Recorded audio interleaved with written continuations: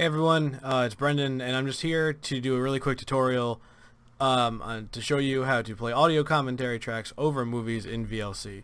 Uh, it may work this way in other programs, but I don't give a shit. We're talking about VLC right now. Alright, so first open VLC, right? Pretty easy. Alright, we're out basically most of the way there.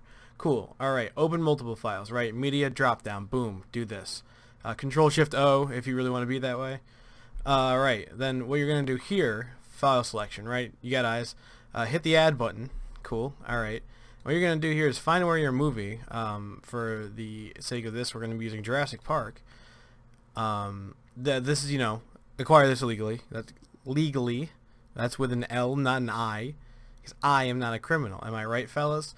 Alright, use a subtitle file, right? Because typically, when you're listening to an audio commentary, you're going to want to, you know, probably know what they're saying on the screen, but you don't want to be, you know, listening to a whole movie and people talk at the same time, right, you're not a dumbass, you know these things.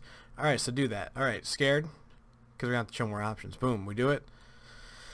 Alright, this is life now. Alright, we're going to hit another box. Play another media synchronously. Synchronously. Synchronously.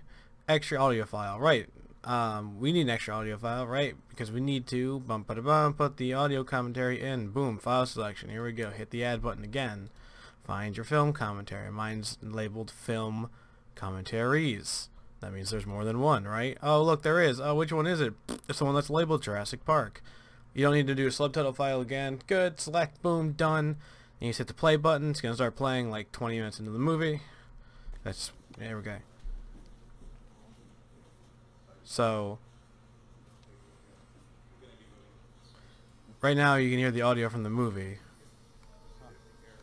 It's turning eggs. Right, but we don't want that. So what we're going to do is go to audio, right? Audio track, track 2. Click that. And And, then- in another shot, And then you hear these gone. doofuses. Yeah, like there These it is there, doofuses. and I think in the reverse it's gone, which is coming up next. Yeah. And then uh, I want to say there's some other continuity errors here, but I can't quite remember. Nice. All right, cool. So that's it. That's the whole tutorial. Uh, you know, subscribe or whatever. Uh, upvote, Reddit, etc., etc. Uh, you know,